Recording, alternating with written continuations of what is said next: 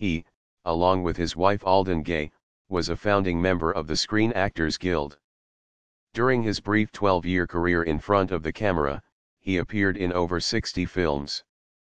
After appearing in several Broadway plays during the early and mid-1920s, Thomson would make his film debut with a starring role in 1926's Risky Business. Over the next four years, he would appear in over a dozen films, in either starring or featured roles. In 1930 alone he would appear in 10 films, half of which were in starring roles, such as Lawful Larceny, which also starred Bebe Daniels and Lowell Sherman, who also directed, and Reno, whose other stars were Ruth Roland and Montague Love, the other half would see him in featured roles as in A Notorious Affair, starring Billy Dove, Basil Rathbone, and Kay Francis.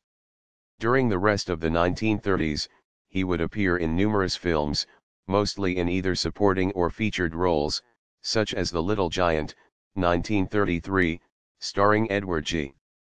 Robinson and Mary Astor, and Hop Along Cassidy, 1935, starring William Boyd, although he occasionally would have a starring role, as in opposite Harold Lloyd in 1932's movie Crazy.